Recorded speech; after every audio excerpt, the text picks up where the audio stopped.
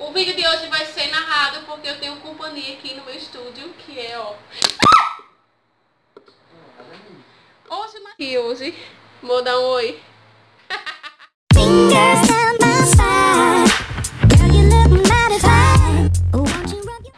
E aí, meus anjinhos pesados, tudo bom? Hoje eu trouxe uma novidade de maquiagem aqui no canal, que faz muito tempo que eu não trago, que é maquiagem social.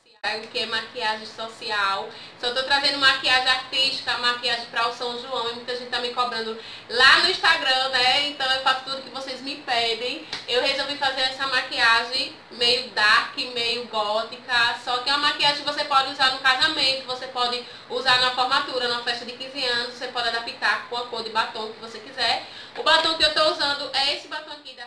Com lastro, o batom. Primeiro eu escolhi o batom e depois eu escolhi o que eu ia usar no olho.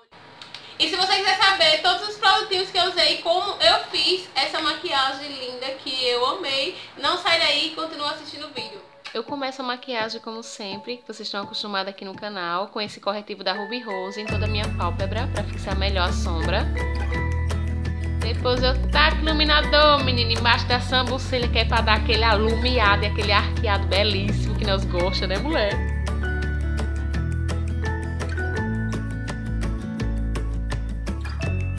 Eu começo o esfumado do côncavo com esse cafezinho com leite, esse marrom clarinho aí bem, bem lindo, que é pra ficar com a transição belíssima.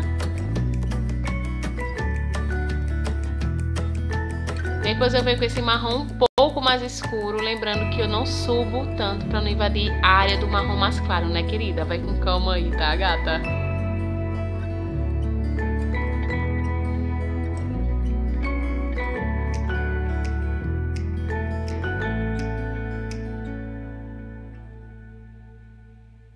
Depois eu venho com esse marrom bem mais escuro para dar ainda mais profundidade a esse esfumado. Ai, que lindo! Gente, eu tenho um segredo sobre essa paletinha. Primeiro, fique chocado com essa pigmentação. Gente, eu tenho essa paletinha desde 2008. Foi uma amiga minha que me deu. Ela é da Itália, não sei que marca, não sei imaginar, está fora da validade. E eu amo demais a pigmentação. E antes de colocar o glitter, eu faço uma caminha de pó apaixonada, apaixonada declaradamente por esse fixador de sombras. Confesso que eu não curtia muito, mas agora eu curto bastante. eu coloco com um aplicadorzinho mesmo assim, coloco uma quantidade pequena, como vocês podem ver. E depois eu vou dando batidinhas com o dedo para poder esfumar esse produto e não ficar tão marcado.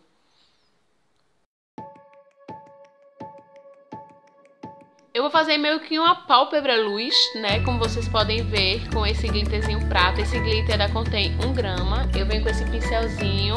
Esse pincelzinho é um pouco mais durinho, é, mas ele é bem legal para aplicar glitter. E eu vou dando batidinhas aí, não vou depositando muito para não ficar tão marcado.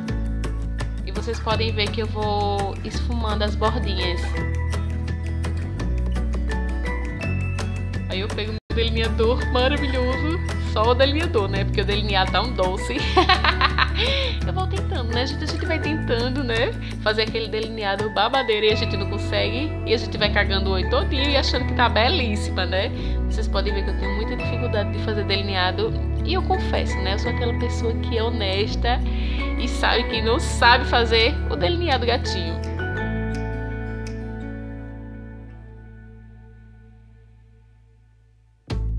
Agora eu taco bastante máscara de cílios e cago um pouquinho de máscara de cílios em cima, porque se eu não cagar a maquiagem, não é maquia louca. Chora, querida, nesses cílios. Lindo! Gente, eu comprei esses cílios no Instagram, é LP Story, e lá tem cada cílios lindo. Esses cílios é aquele que você encontra no AliExpress, nesse site da China. Vocês veem também que eu tenho dificuldade até de colar um cílio, né? Mas enfim, a gente tenta. Na parte inferior dos olhos, eu esfumei com as mesmas cores que eu esfumei na parte do côncavo. E depois eu vim com esse pincelzinho chanfrado e coloquei o tom mais escuro da paleta, o último tom, para dar essa profundidade e dar mais ênfase aos cílios inferior. Eu não percebi que o pincel estava sujo e fui fazer tipo uma vassourinha e acabei cagando e a minha decepção. Gente, aí eu tô tentando ajeitar a cagada que eu fiz da minha cara. Porque, minha gente, eu não consigo fazer uma maquiagem sem cagar. Eu tive que cagar alguma coisa. Eu tive que tirar o produto, colocar a barra. Agora tá com mais brush, né? Que a gente quer ficar bem com a cara de saúde. E depois eu venho com aquele iluminador da minha make, que eu amo de paixão. E coloco mais iluminador pra ficar bem alumiado. Então é isso, meus rostinhos pesados. Ficou assim a maquiagem finalizada. Confesso que eu acabei esquecendo de passar delineador em cima da colinha dos cílios e limpar aquele cagadinho que tem ali perto do zóio. Mas espero que vocês tenham gostado. Beijos e até o próximo vídeo.